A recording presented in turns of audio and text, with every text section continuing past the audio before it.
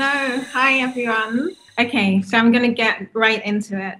Um, I um, have chosen um, for today um, the West African slender snouted crocodile. It's a forest animal. I'm also from the rainforest area here in Ghana, so it's kind of my natural sibling. It's nationally protected by the Ghana wildlife law, but unfortunately, it's a law that's not really enforced. Um, there are a few within wildlife protected areas, but most of um, the crocodiles live outside of the protected areas. Their protection actually then will require quite a lot of community awareness and support. Um, and I wanted to talk a little bit about how animals and crocodiles generally are seen within our ontologies and how we might um, increase the, the, the respect and the sacredness and the support um, that we have for animals um, historically um, and how we might reconnect with that. The crocodile has gone down, I think, by about 70 to 90% over the last 75 years. And in some areas of West Africa, it's, it's become completely extinct. So in Burkina, in Guinea, in Guinea Bissau, in Togo, I think Mali and Senegal. So lots of the areas where the West African slender snouted crocodile um, was prevalent, it's it's gone completely, it's become completely extinct. Um, that's due to several reasons. It's agricultural expansion, it's gold mining, which is polluting the waterways, there's unregulated hunting, and there's also the depletion of their prey, which obviously they feed on. I just wanted to show you a couple of images. Um, we have a, um, a language in it's a pictorial language in Ghana. It's an Akan language called the Adinkra. Um, and these are symbols um, which are philosophical. A lot of them are animal based. Um, and it's really kind of speaks to the interconnection of humans, plants, animals, and how we can learn from animals. This is a Denkyem, the crocodile.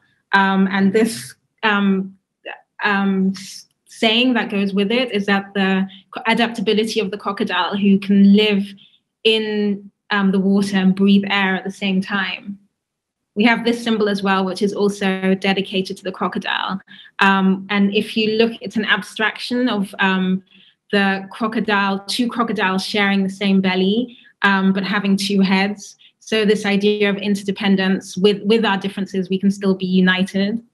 Um, and then this is one of our gold weights, our Akan gold weights. It's quite hard to see, but if you can see, it's a crocodile with a mudfish in its mouth. Um, and it's basically saying, um, don't eat your neighbors. Um, don't, you know, don't eat in the same um, waters that you live in and you inhabit in.